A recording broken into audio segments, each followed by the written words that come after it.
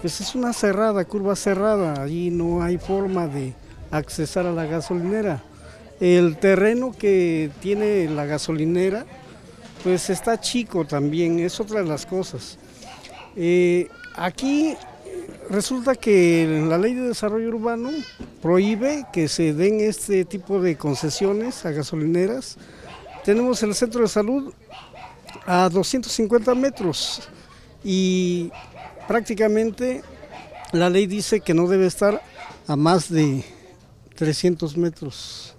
La escuela secundaria está a 150 metros. Habría varios responsables. Para iniciar el, Ayuntamiento de Oaxaca de Juárez, eh, la presencia municipal, la Procuraduría Social, la Secretaría de Desarrollo Urbano y Obras Públicas Municipales, en caso de que se dieran las, ahora sí los permisos correspondientes.